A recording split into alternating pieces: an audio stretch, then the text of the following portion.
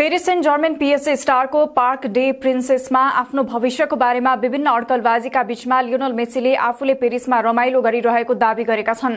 Argentina आइकनले आफ्नो हालको सम्झौताको अन्त्यमा यस गर्मीमा निशुल्क एजेन्टको रूपमा क्लब छोड्न सक्छन्।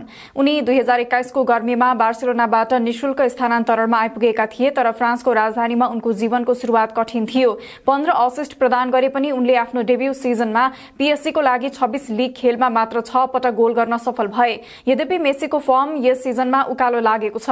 पैंतिस वर्षीय खेलाड़ीले यस सिजन विभिन्न प्रतियोगिता भर उन्तिस खेलमा अठार गोल र सोह्र असिस्ट गरेका छन्। यस्तोमा भर्खरको एक अन्तर्वार्तामा बोल्दै पूर्व बार्सिलोना फरवार्डले भनेका छन् म पिएससीमा राम्रो महसुस गर्छु। पहिलो वर्ष मलाई पेरिसमा अनुकूलन गर्न धेरै कठिन भयो तर अब म क्लब र सहरमा सहज महसुस गर्न थालेको छु। म धेरै रमाइलो गर्दैछु।